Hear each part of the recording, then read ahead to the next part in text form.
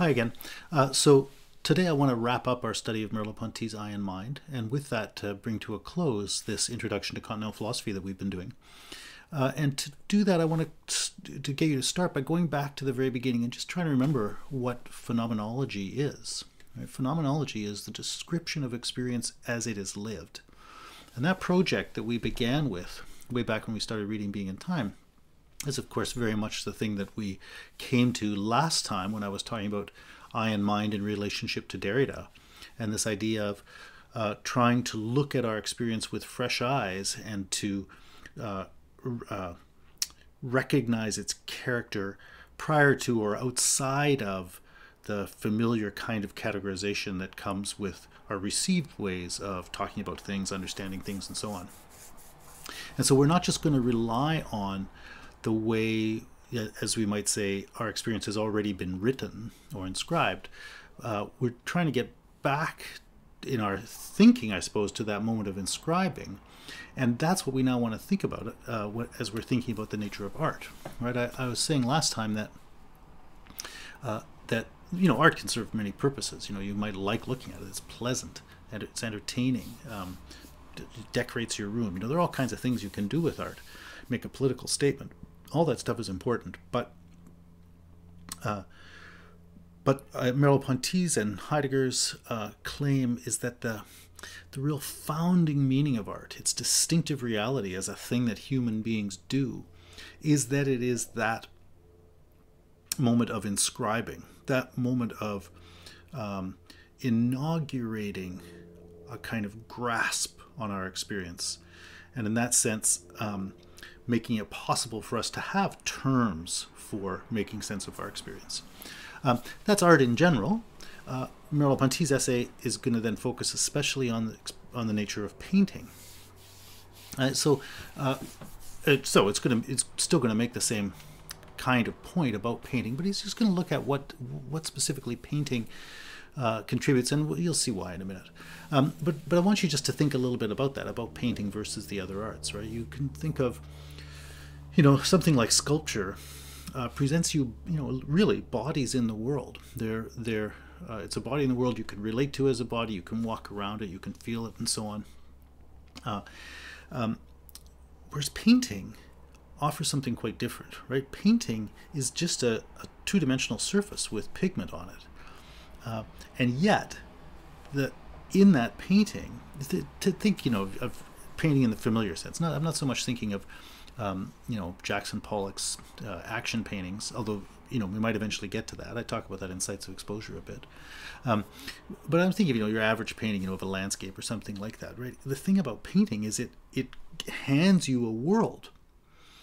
Uh, uh, you know, and, and it's a world in space. There are bodies and there is space and there's stuff happening. But the amazing thing is that that's happening uh, on a two-dimensional surface with pigment. So in that way, if you compare painting and sculpture, painting has given you that world of bodies in space, what sculpture would do as well, but it's taken away the bodies. So painting, in a way, uh, has as its chosen way of working to present appearance as appearance. Right? It's it's taken the substance of things away and it's just giving you a kind of appearing. And so in that way, painting really speaks quite just just in its medium it speaks quite powerfully of our uh, existence as Dasein, to use Heidegger's language, right? We are experiencing beings. Experiencing is what it's like, is what it's about. Experiencing is what we are. Experiencing is what's happening. And experience is an appearing of something to someone. Right? And so appearing is is our is our domain. Right? And that's why we were doing phenomenology. We were doing a logy, an account of the phenomenon, of the appearing. So painting works at the level of appearing. It is appearing portrayed as appearing. Uh, and so, so that and, and that's really what Merleau-Ponty is going to try to get at here. He says, you know, painting is is really uh, focusing exclusively on the visible, right? It's it's focusing on uh, not things in their um, bodily substantiality, but in the way a world is able to appear to us, the way a world is seen by us. Um, uh, now you you know you might say well why why visible? Why not just sensible or something like that? Well there are, other senses. It's hearing taste smell touch.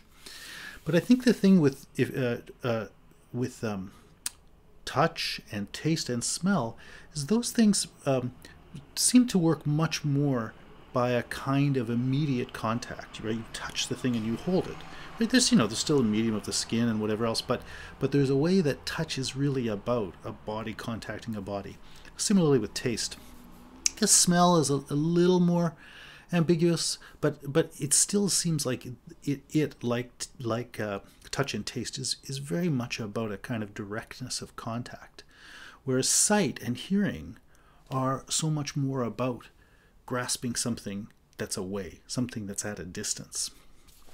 So, um, sight and hearing, which correspond basically to the arts of painting and music, offer a different uh, route into our experience of the world, our experience of bodies, and they and uh, compared to the other senses, and they particularly emphasize that fact that we experience things at a distance.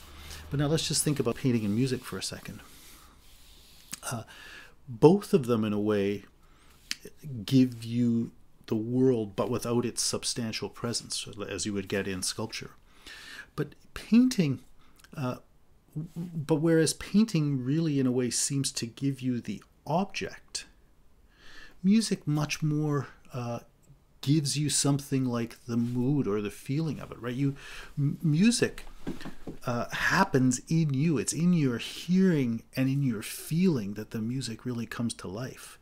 And so you feel what it's like to be in a certain kind of setting and so on. But it is it is that character of it that is mostly, maybe even exclusively, uh, communicated to you or brought to life in you. Whereas painting, more like sculpture, still gives you the bodies in space, still gives you the world. So painting is in this very interesting position that it's it's it's kind of an art of subjectivity in a way that sculpture isn't exactly, in as much as sculpture gives you an object, whereas painting is sort of about appearing. But it's also the objective side of subjectivity, right? It's about how objects come to appear to you rather than music, which is more about the subjective side of subjectivity. It's more about uh, the feeling, right? So that's a quick, just a quick sketch of um, the expressive potential of these different media of art. And uh, I'm hoping that in saying that, uh, it's just got a kind of prima facie plausibility to you. So Merleau-Ponty is, is operating uh, with, you know, in that basic framework for, for just try, trying to think about how this very medium uh, has a distinctive thing it's able to express. Uh, now, uh, broadly, I, you know, I've been talking about appearing in sites of exposure. I've tried to talk about things that I think are quite similar to the sorts of things Merleau-Ponty is talking about here. I haven't narrowed it down to painting and vision, though. I have tried to talk about the arts more generally, and consequently, I've talked about appearing. And I've tried to talk about how appearing, sorry, how art is essentially making appearing appear.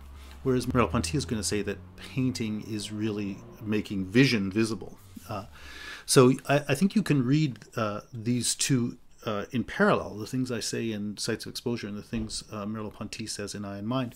And uh, I think you will you know, see that difference I've just talked about. But I also think that you will find that the stuff I talk about in, in, in those other pages uh, will resonate quite directly with the things he says here, and I hope help to illuminate it. So I'll make a few passing ref- references to my text, uh, but I'm not going to talk about it in detail because I really want to just stick to a, a, a, few core issues related to eye and mind. Anyway, so so um, you know, phenomenology says we need to go back and look at experience, and so Merleau-Ponty says, okay, let's think about what happens in vision. That's what painting is gonna gonna do. So you know, what is vision? What is it to see? Well, the uh, this essay, Eye and Mind, has five sections. Uh, the third section is focused on Descartes' study of optics. And uh, and I, I, mentioned that a little bit last time. Uh, I'm not going to talk about it in detail. It's quite a rich uh, and interesting section, but I'm going to breeze over it because I really just want to get on to a few issues about art and painting and so on. Uh, but but so basically, um, the the thing he, he looks at there is in, in looking at Descartes is, is you know what what would you have to say about vision, or what would you be um, what would you be led to say about vision if you started off with the view that the world is an alien object and you are a detached mind, right? And you're saying, okay, what is it that's happening in vision?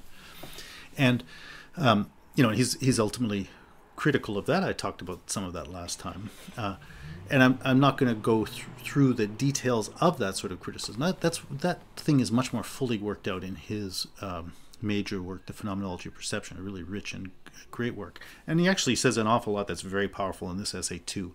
But I don't I don't really want to get into the details of that. I want more just to get you to grasp the sort of overall thrust of the thing he's going to say. And uh, the basic point he's going to make is that if everything is is radically separated into what is a subject and what is an object, uh, you know, and the subject is a thing that sort of represents and judges, and the object is something alien. He says, you know, you're gonna you're gonna be basically understanding everything as a kind of gathering of alienated, kind of meaningless, intrinsically meaningless evidence that a that a judging mind sort of operates on and constructs a theory about. And so he tries to show that that's essentially what's happening in the account of vision that you're going to get from Descartes. And so, so the so what is the big question about vision? Well, the bizarre the bizarre thing, and it's the point I already made, is that vision gives you something at a distance. That's that should strike you as just unbelievable. Um, you know, so taste and touch and smell, those things, you know, as I was saying, seem to have seem to have. They're more complex too when, it, when you really get down to it. But just on the face of it, you can think, oh, yeah, yeah, I'm just touching something. But the bizarre thing about seeing is you see that thing over there. And the bizarre thing about hearing is like I just heard a car go down the street, and I bet you heard it on the recording too. Uh, you know, I hear it over there. Uh, and that notion of over there is part of the visual or the auditory meaning. So Merleau-Ponty's point is that, in fact, that is not a judgment. That's that's a part of the perceptual form. That's his phenomenological claim, and we'll come back to that. But the that is and and and again, you should notice that and be struck by how unbelievable that is. How can it be the case that you're a little body over here and somehow the world appears to you? That's that is unbelievable. Appearing happens it just it seems crazy. And and the world that's presented to you is in fact infinite. Like you only ever see a part of it at a time, but you see it as going on beyond what you actually see. Right? The very form your experience takes is you recognize yourself. You take yourself to be having a finite presentation of something infinite. It's, it's, and it's just it's unbelievable. Um, so, really, you should pause, try to notice that, and reflect on the wonder of it.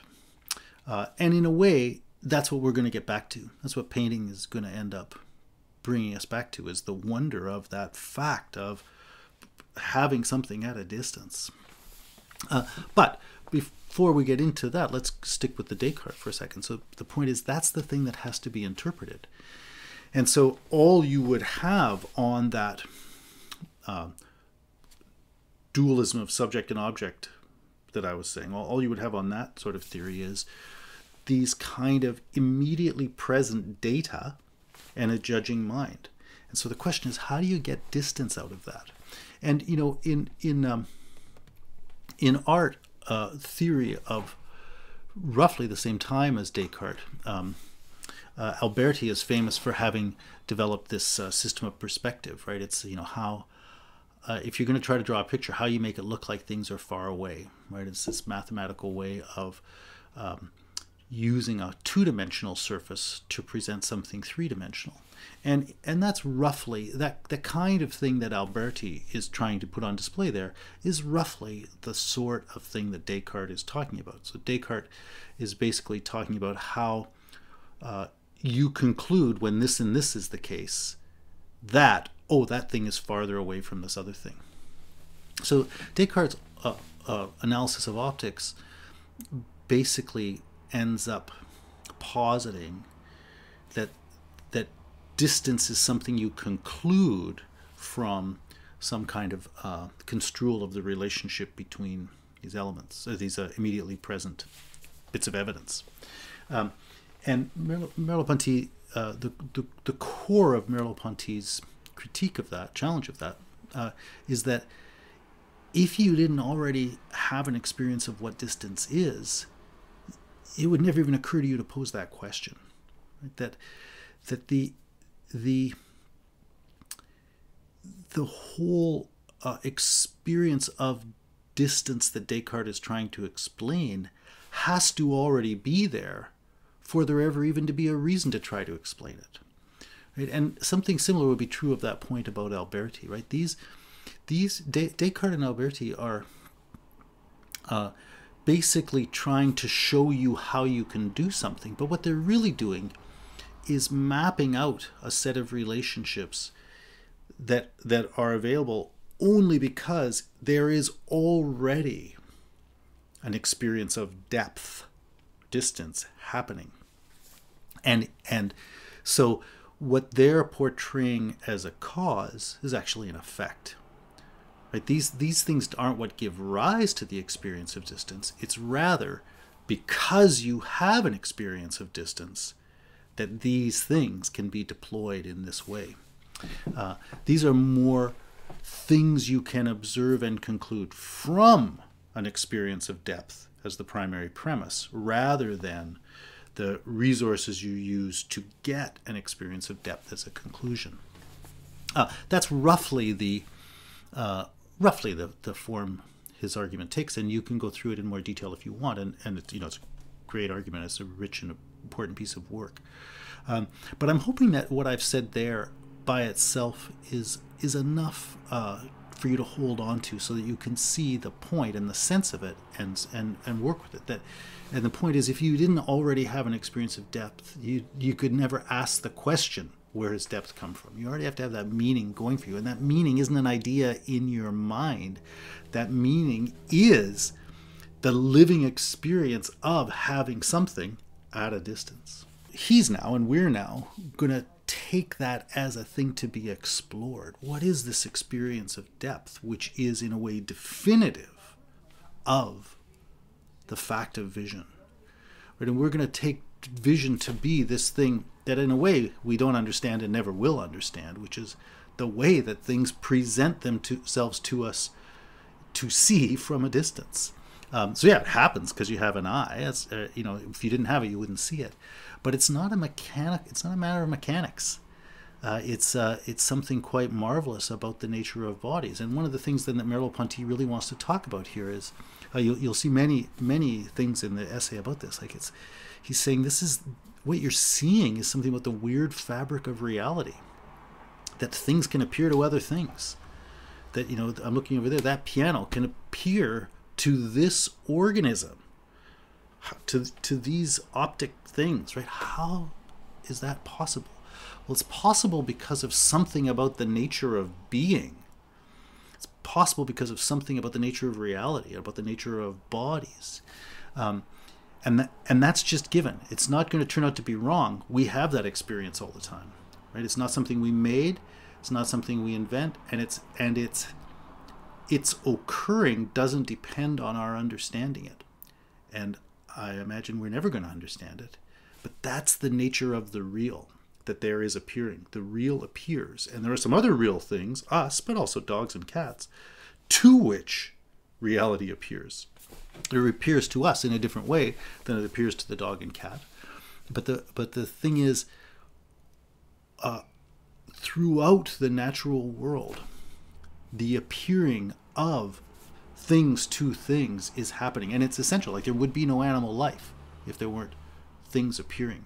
You know, dogs have to see what's happening. Cats have to have to see what's happening. They hear things, right? That in all of those ways, um, reality is showing itself to another part of reality.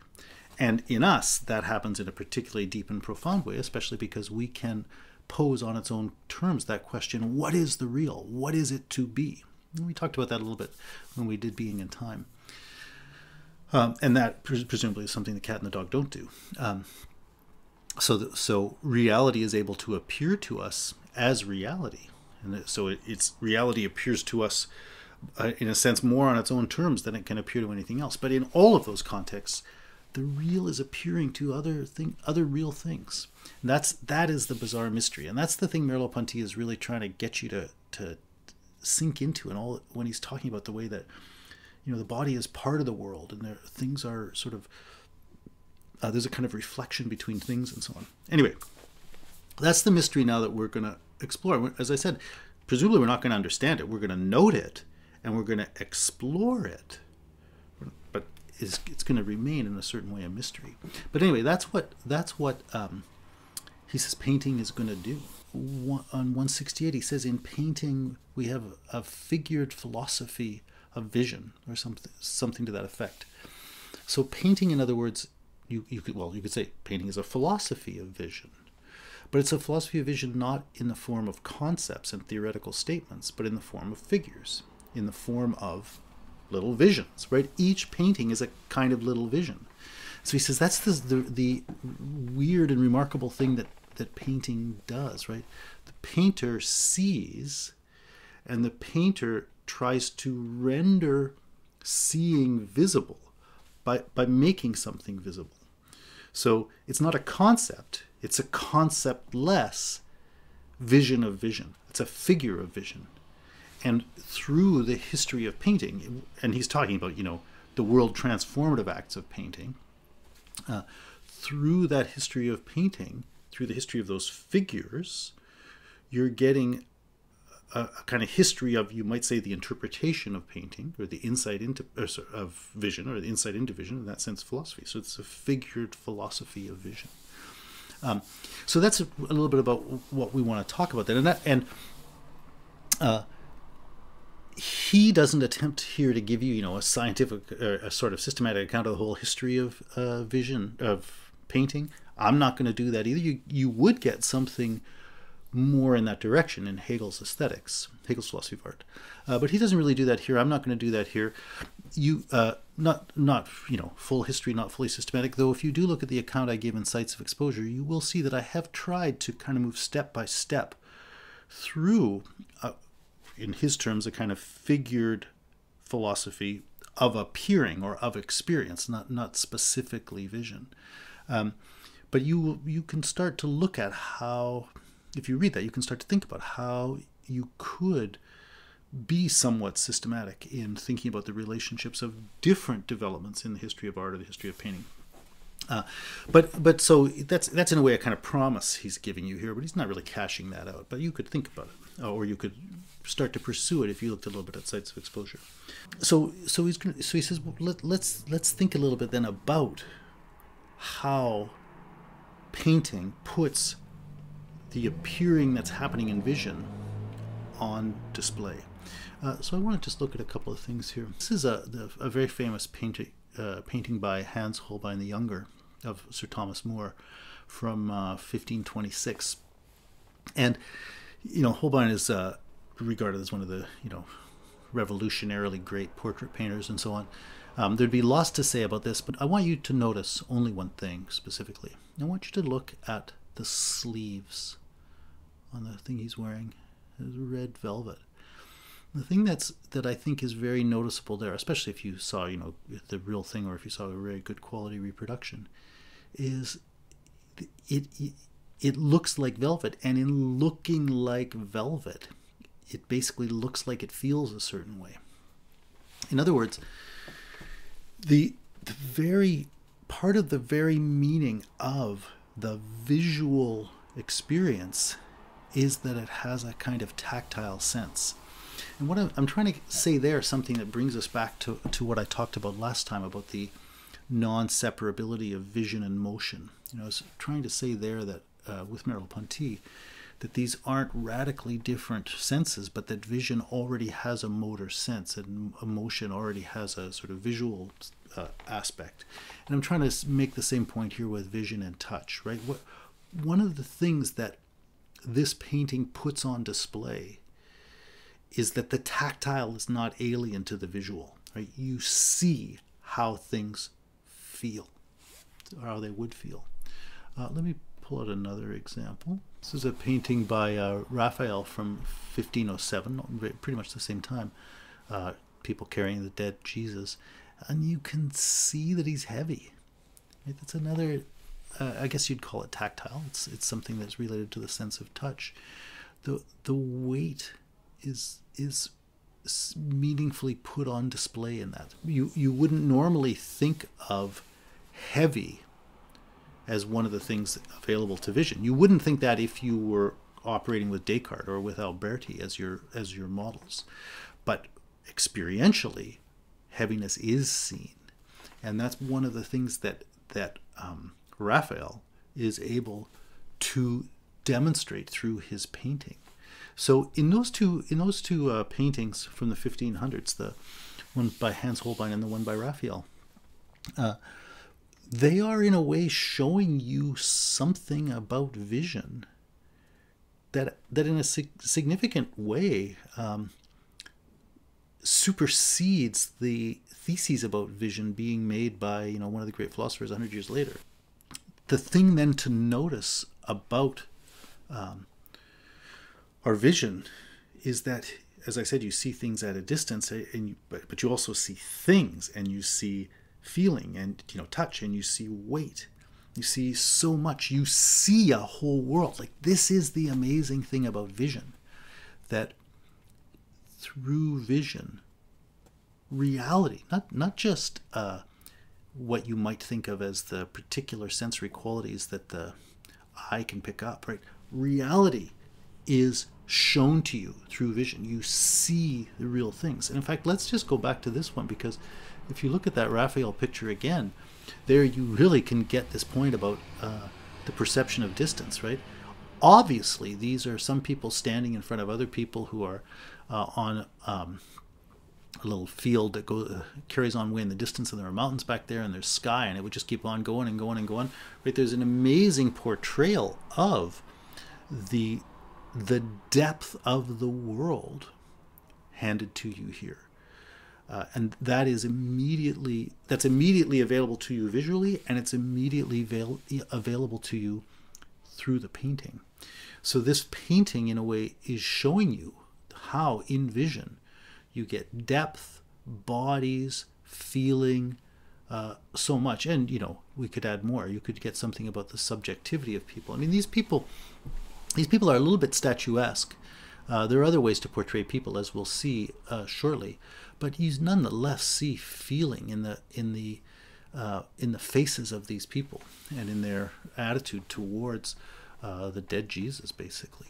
Um, actually, let me give you a, just a quick look at a very different image that is, uh, I think, kind of the opposite of statuesque. This is a, a drawing by um, Matisse of a bather with long hair from 1942. Um, and uh, I'll come back and say something about it a bit later, but I just want you to notice that things can be portrayed in ways that don't automatically look like you're looking at a piece of carved stone, which which is a you know an overstatement for the for the Raphael, but there's there's something kind of true about that, right? These look a little bit more like works of sculpture. Uh, anyway, uh, so the the point I wanted to get out of just looking at those two works from the 1500s, which is you know one of the great ages of painting, probably the great age of painting. And why do I say that? What what I mean by that is I don't I don't I don't mean to denigrate any other painters. I mean that was the time in world history when painting kind of came on the scene as the art that the most avant-garde artistic and whatever other kind of culture was exploring and you know in, in a way that had never happened before right paint as a medium became the thing to use. And and uh, um, artistic practice was revolutionized right? And and part of the reason that that may well have happened there, going back to the thing I was saying at the beginning, is you know that's that's that's also the time in general that um, the kind of emerging culture of subjectivity was kind of taking over uh, history. Right, that that is the time of the scientific revolution and the the all those other things we talked about, uh, capitalism, democracy, and so on. Uh, all these different ways in which individuals as subjects were becoming the center of the interpretation of what humanity is. And so that focus on individual subjectivity corresponds to the emergence of painting, which I was earlier saying is a kind of art of subjectivity. Those things correspond to the emergence of painting as this revolutionary new art form. So people have gone on to paint since then, of course, and unbelievable painters. But but I think of this as the great age of painting in the sense that that's when painting was uh, participating in a kind of world historical revolution in human culture. Uh, anyway, that, that's that's a that's just a sort of passing thought about it. Uh, but so so what I, and what I want to show then from those painters was that they are doing what he says. They are putting on display um, a kind of a phenomenologically truer vision of vision than the theories of vision you're getting from, you know, Alberti or, or Descartes. So that that's that's that's grappling with those things that are happening in section three when he's talking about Descartes, and actually in section two, which is where he introduces that notion of the figured history of vision and so on, and where he first talks about the way that vision is not separated from motion and those things. So those remarks I was just making uh, should pretty strongly resonate with things you would read in sections two and section three. Uh, in section four, now that he's made that point that we've just made, he goes on then to say, okay, let's look at painting. Uh, and he begins by saying, yeah, painting, um, it's amazing for dealing with depth and so on. Uh, anyway, he brings out three things. He bring he brings out depth, color, and line as three three things that painting is really exploring and working with. And I wanted to just talk about those things a little bit too. Again, you know what what do you what is it that you see when you see? You know, if you go back to those pictures like that deposition um, or if you just go back to the way I was talking before, I mean, you basically see the world, which means you see things in space. There, there are things there in space, but you see them. And so it's like th- things or bodies in a context that is illuminated. And that's more or less the three things he's going to bring out there. Depth, which is the sort of spatial context. Um, he's going to talk about color and maybe a little bit about illumination. Um, but but they're they're basically the same. Color is the way light appears, right? So things are illuminated, but you don't see light. You see stuff by the the way it is illuminated, and so the colors of things, in a way, reveal the illumination. And then those things themselves are formed and figured, and that's what he's going to more or less get at with line. So, so these three dimensions, depth, color or illumination and line or, or form, uh, it seems to me, are, are, try, are trying to explore. Uh, in, in a way, those are three dimensions. You might normally think of, you know, uh, depth, width, and height or something like that as the three dimensions of space, but that's a very sort of prosaic model of space. That's the kind of Albertian conception of space. And he's, in a way, giving you a different three dimensions. He's saying, yeah, depth depth isn't just one of those three mathematical things. Depth is the amazing phenomenon of the there. There is. There's an outside. Like that's that's the thing that's crazy. So so there's depth, there is illumination, and there's form or figuring. Those those are in a way phenomenologically the things that are happening in your experience of reality. Uh, uh, each of which is irreducible to the others and all of which are immediately given to you in your visual life. And so painting, he's saying, is, is really exploring those um, elementary dimensions of visual experience. Um, and so, uh, uh, yeah, so I want to talk about those three. So I want to just um, think a little bit about depth, and uh, let's just look at some of that figured philosophy of vision, and let's let's look at depth. This is a fairly recent one. This is a the great uh, German artist Anselm Kiefer.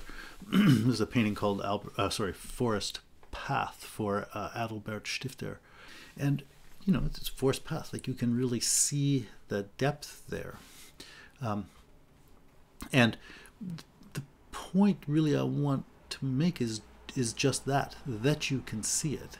One of the things about Kiefer's work is that they consistently play with uh, that sort of Albertian uh, model of the lines uh, moving towards a vanishing point and so on, and that's that's always at the heart of his pictures. And I've talked about that a little bit in um, Sites of Exposure. Now let's look at a couple of other ones. This is a, a work by George Grosz. Um, it's a Berlin street scene from 1931, and you know, again, in in a way, if you sort of it's there's something kind of realistic about it, but there's also something quite caricaturish about it. And and my point about saying it's caricaturish is just to let you see that you see depth, but you see it by means other than just that you know mathematical implantation of the Albertian perspective. These bodies sort of block each other. There's something quite essential about the way that you can't have uh, a, a, positionless perspective and you know bodies uh, sort of jockey with each other for position in space. Anyway, I just wanted to look at that as, as a, a step further away from that straightforward Albertian thing. But then look at this. You know, there's a lot of depth in this one, uh, but the the whole way it's communicated is is different. The whole way this uh, work by by Van Gogh communicates is quite different from that sort of almost kind of mathematical realism you might uh, be more familiar with. Or, or one more here. You know, look at this this self-portrait of Picasso. On the one hand, there's there's a way in which there's something quite manifestly flat about this. Like it keeps trying to sort of emphasize that you're looking at a flat thing and uh, that you're not looking at something that's sort of copying by those sort of mathematical rules the presentation of a three-dimensional object in a two-dimensional plane but what's what's remarkable about this is the incredible depth uh, the the incredible figuring of this of this uh, shaped body in space which um, beyond that also has a kind of profound inner depth so you, what you start to see here is how much the communicative power of the work is coming from something other than uh, the following of those mathematical rules. Um, so those those were just a few things just to start uh, hinting a little bit at that perception of depth. Um, but now let's let's look at the the use of color. Here's a, a pretty obvious one. These are uh, um, one nice painting of the uh, Rouen Cathedral from uh, the 1890s, 1894, I think. This is, um, you know, the the thing. It's it's in the morning, and in a way, you know, so it it's it is portraying the light. It's it's showing you the light that lets you see the thing. And of course, that is done by color. How else could it be done? But you know, you especially see that if you contrast that with this other picture from uh, you know, noontime. Um, same uh, same part of it, uh, but in a different light. Um, so you can look at, at those two side by side, and there's a whole set of them that that are you know of the same thing, but um, in different light. And so in in a way, what those works put on display is the light, the illumination that lets there be the seeing of things. Um, it's a little bit more. Uh, I have quite a bit of Picasso here because he's so amazing. Here, this is a uh, from 1905, um, uh, Family of Ac Acrobats, and I mean with Picasso, you know, you could say so much about it, but but I what I did want to look at color here and light and and to see how much is communicated by the use of color. showing you in a way how color lets something be seen. How color, or, you know, which is again illumination, lets the world be seen, lets bodies be seen. Um, you know, I, I look at um, the dress of the woman sitting in the front, uh, or the um, the boy, I guess, with the sort of brown trunks on. Uh, it's it's quite remarkable there how you can shift from the sort of uh, figured to the flat appearance uh, right at his edge right that you know you, you can sort of get into the picture of his body and you can see through that deployment of color uh, uh, a body and yet you can also very quickly turn and see this is just a flat surface with paint on it by just moving to the sort of flat paint beside him so the, the, this picasso picture with that figure in particular seems to me almost to be showing you how he can bring a living figure out of the flat surface by showing you the flat surface as well. Um, and so you almost see the figure coming into being on the canvas and then with a special uh, depth when you get up to his face. Um, here's another one. This is from uh, a little bit later, 1921. But here, I, I want you to really notice how much the the sort of sculptured body is being brought out by that deployment of color. And, and it's, it's amazing the effect that can be produced. So you almost are seeing things like they, they look like they're made out of, I don't know, carved pieces of wood or something like this. Um, but so he's he's letting he's making color do the work, and he's also letting you see how that deployment of color is what lets a body kind of appear before your eyes. And then the third one uh, Merleau-Ponty talks about is line. And uh, in, in the um, French publication of, of Eye and Mind, uh, Merleau-Ponty included a number of images which are not included in our translation, which is kind of embarrassing. Um, and I didn't bring all of them here, but I, I wanted to bring you this one. He includes this one, which is this um, Matisse drawing that I brought up before. And so the, th- the interesting thing here is to see how the use of line lets a body appear. This this you know very um, elegantly shaped human body in you know in depth, in water, long hair, in vegetation. Like this thing comes through through a few lines, and the lines uh, are are not exactly reproducing factual lines. It's not. It's not like. Um, like if you saw a photograph, you wouldn't see those lines, and and in certain respects, you might even think, oh, they're not they're not entirely realistic, and yet, the lines are used so as to let something be seen. So you don't really see the lines; you see the figure. The lines um, kind of step back to let this amazing figure appear. Um, but here's another one from that same uh, uh, Picasso series of the Saltimbanque. Here, again, like I think if you look at these figures, you can see the, the amazing ability he has to put a simple line on paper and through that line to, to allow an amazingly sophisticated and complex figure to appear you know, a human world full of emotion and action and so on suddenly comes out to you through a, a few little lines he's drawn there. You know, and this this has the line and the color and, and everything working together. But I, I thought of this one as putting more on display the, the power of the line. Uh, and so Merleau-Ponty, one, one of the things Merleau-Ponty talks about in there, uh, and there are a couple of places on uh, both uh, 182 and earlier on 180, he talks about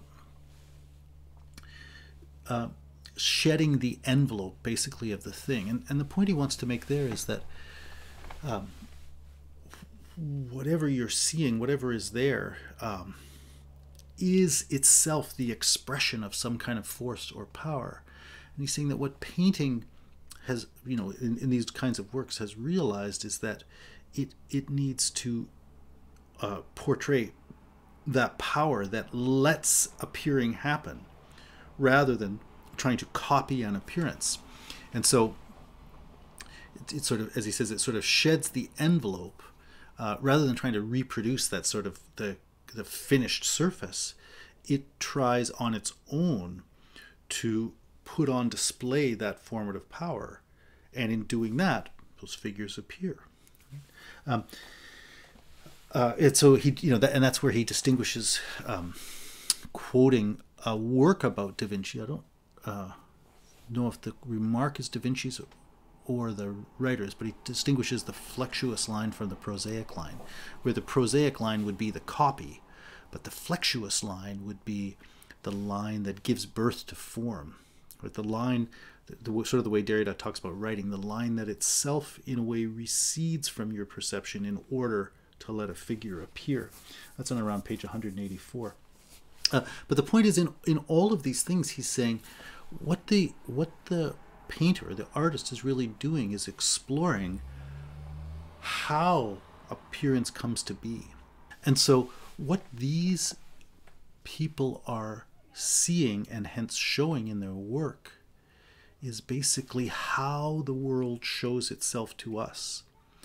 And they are that's what they're putting on display. They're putting on display the showing of reality or something like that. And so he that's that I think is why he says uh, uh, on page 188 that you, you can't really say where nature ends and where the human or human expression begins, right? That when if you have this this sort just as you can have a kind of dualism of thought and space, you can have a dualism of reality and our experience of it, or reality and our portrayal of it. But he's saying what what painting in a way challenges is exactly that kind of dualism, and, and it's in a way saying saying that reality shows itself, and it is it is in a sense to be experienced, and so the activity of experiencing it ex- and expressing it is not so much an alien act imposed upon it as a kind of continuation of its own motion and its own trajectory. And this that's something like that is that point he was getting at when he's talking about mirrors and so on. And I think uh, I think that's 168 and maybe even before that, when he talks about the way, uh, you know, in the portrayal of mirrors, they're showing how things effectively showing themselves to other things or being seen by other things is in a way prefigured in everything and that the human being and the artistic gesture as as the exemplary version of that is in a way carrying to its culmination that defining relationship or I should say that relationship that it, that in an essential way defines what it is to be right? So that to show, to appear, is not at odds with what it means to be, but is in a way integral of what it is to be. And so that's that's a that's more or less where I want to leave it. You know, this hasn't been a, a thorough investigation of this essay. Uh, I've been I've tried to give you really an introduction to it to try to bring out some of the provocative but but also quite powerful uh, ideas uh, contained in it. Uh, and um, you know, that core idea is that the artwork is in a way the thing that uh, starts to allow us to make sense of our own experience, and in so in that sense, uh, art artistic expression is prior to the familiar structures of language and conceptualization that that we rely on and that that we don't even notice as having come from somewhere. Uh, and then, for that same reason, artistic work can also uh, allow us to challenge the uh, familiar habits we have for interpreting our experience that has come through those things. And the particular thing that he's doing here then is is showing how in painting, the phenomenological critique he's giving of that representational model of experience is in fact uh, figured, or I guess we could say prefigured in painting. And then he uh, pursues that uh, reflection on painting to see more what it shows instead to be the nature of vision and in focusing on and putting and, and in putting on display, in making visible the way that vision makes visible, it's really showing how it is something in the nature of being to appear. And that is why, then, that's a further reason why we can't really operate with this radical dualism of subjectivity and objectivity. That to appear, to be experienced, is something in the very meaning of what it is to be. And therefore, our own experience of reality, and especially our attempts to express that, are, uh, can't really be construed just as some alien, secondary, some alien or other thing that's happening to reality, but has to be understood as integral to the very um, uh, life or trajectory of of, uh, of, of being itself, of reality itself. So I'll leave that there. Um, I hope that allows you to read the essay to make some sense of the essay and allow you to see a little bit of the continuity of what he's doing with the whole thing we've been doing in phenomenology so far, and especially to start to open some doors into thinking about philosophically about the nature of art and its uh, relevance to to our own experience.